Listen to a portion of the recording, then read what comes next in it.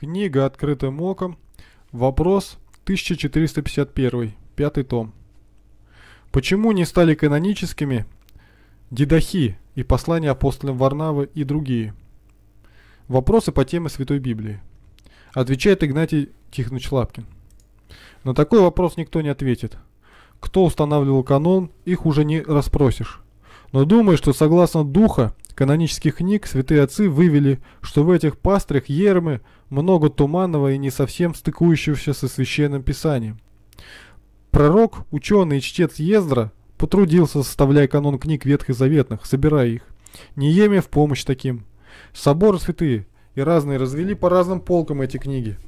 Нам, если мы православные, не нужно умничать, но без прикословия, ой, без прискорбия и излишней любознательности закрепиться на том, что нам сохранили наши предшественники. Псалом 132. «Не смирял я, не смирял ли я и не успокаивал ли души моей, как дитяти, отнятого от груди матери? Душа моя была во мне, как дитя, отнятое от груди».